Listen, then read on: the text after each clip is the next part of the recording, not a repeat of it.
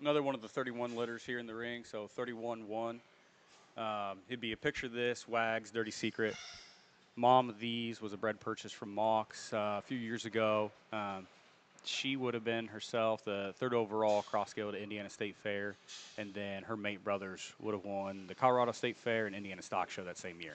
Yeah, James has got the dash one here on the stick. Uh, this one probably reads of, of the litter just a shot greener, but to me that's a feeder's dream, one that you can feed feed extremely hard on and get this one to expand and blow apart because he has the skeleton, the design, and everything about him from the profile is extremely, extremely good there as he makes that pass. You can see the big feet, the big bones that it takes. You know, the extension up front and then and the set to his shoulder is very, very good. He's not too stilty there in his knee set.